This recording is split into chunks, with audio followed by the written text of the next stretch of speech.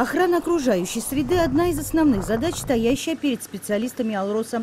С целью снижения негативного воздействия на водные ресурсы в 2014-м в «Алроса» одобрили проект по реконструкции канализационно-очистной станции в Удачном. Вся, э, будем говорить, программа, она связана с тем, что в государственном масштабе идет работы по, э, так сказать, как наиб- решение наиболее снижения вредных, так сказать, сбросов а, во всех буквально, не только в России, а вообще по всему миру.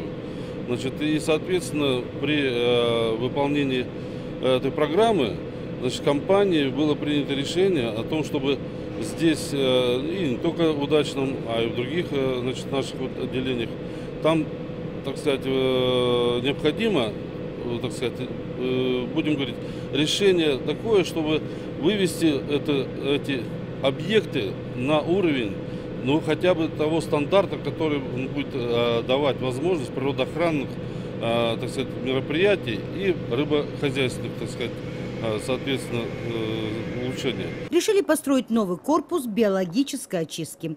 Проект по реконструкции разрабатывался Институтом Якутни-Пралмаз. Внедрение новых технологий взяла на себя московская компания «Стройинжиниринг». Я, наверное, давно уже не видел такого, вот, в принципе, подхода к делу, какой э, оказался устроен инженеринг. А, Настолько все было э, буквально, ну, последовательно, предельно, так сказать, э, происходило работы, начиная от строительства и дальнейшей, так сказать, монтажной работы. Впервые на объектах «Алроса» процесс биологической очистки производится в биореакторах. Это 12 металлических прямоугольных открытых резервуаров. Это очень оригинальное технически запатентованное решение, которое позволяет э, достичь высокой степени очистки сточных вод. Наш аппарат, он учитывает все возможные вот эти вот нюансы, которые вызывают опасения, в том числе у Алросы. Прежде чем сюда приехать, хочу рассказать, два года назад мы приезжали с пилотными установками, и мы, прежде чем применить их здесь, мы их опробовали на пилотной установке. Местная лаборатория помогала, проводили анализы, и мы получили результаты, которые позволили нам продолжать проектирование и разработку этой технологии. Смело уже, не, опасаясь возможных неудач. Это уже получается полные, ком- полноценные очистные сооружения. Механическая очистка, биологическая очистка, доочистка и обеззараживание для сброса водоема. Процесс биологической очистки прост. Попадая в биореакторы, сильные микроорганизмы убивают более слабые и вредные. Таким образом происходит дополнительная обработка сточных канализационных вод. Чтобы процесс биологической очистки не останавливался, необходимы определенные условия – скорость движения воды и подача кислорода.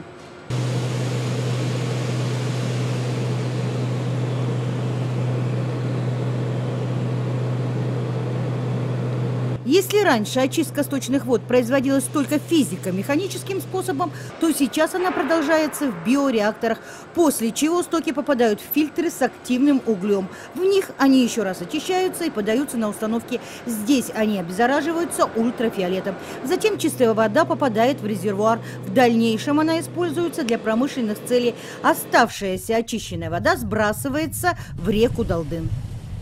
Когда у нас работала здесь всего лишь механическая очистка, она и сейчас работает, она, конечно, давала эффект, но этот эффект составлял всего лишь э, ну, где-то в районе 71% от той очистки, которая необходима была.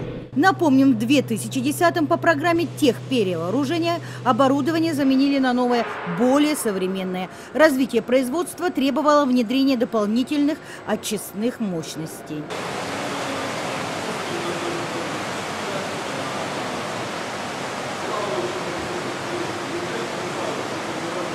Станция биологической очистки была введена в эксплуатацию в декабре 2016 года с запуском нового оборудования. Качество сточных вод повысилось. Рыба, когда-то покинувшая привычное место обитания, начала возвращаться. Я как рыбак и охотник, э, который проживает в данной местности в городе Удачном 77 года, и, кстати, мы проживали вот на той стороне Долдына, сейчас вот заброшенное место, раньше здесь был сам поселок Удачный. Вот. И, то есть, по детству мы рыбачили на этой реке Долдын, которая сейчас у нас, видите, замерзла. Вот. Но на данный момент, то есть, Э, Получается, что в эту реку попадает очень много сточных вод э, с- нашей станции. Вот. Но я думаю, что по сравнению с теми годами, которые раньше мы рыбачили, то есть э, на данный момент рыба опять начинает появляться в этой реке. И э, в этом году даже, то есть э, если мы раньше уезжали рыбачить э, ниже по течению, на много километров, там на 60, на 70, то в этом году даже люди рыбачили ну, где-то отсюда вот в полутора километрах на перекате, вот, то есть здесь уже рыба есть. И рыба как уже идет, поднимается до самого Сатыкана, то есть, ну как вот и было раньше. Вот, а чего не было где-то лет 10 назад, то есть рыба сюда вообще не появлялась.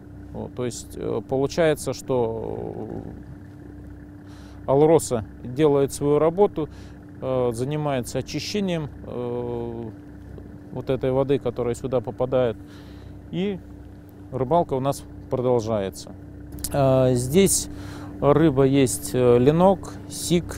Э, Сик вообще заходит, ну, то есть э, с ленком практически. То есть вот здесь вот на перекате можно ее ловить. И очень часто рыбаки здесь весной рыбачат, весной и осенью.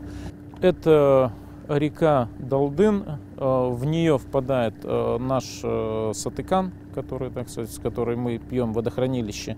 Вот, и получается две реки эти превращаются, Сатыкан, Долдын превращается в Долдын, и потом Долдын в 60 километрах впадает в реку Марха.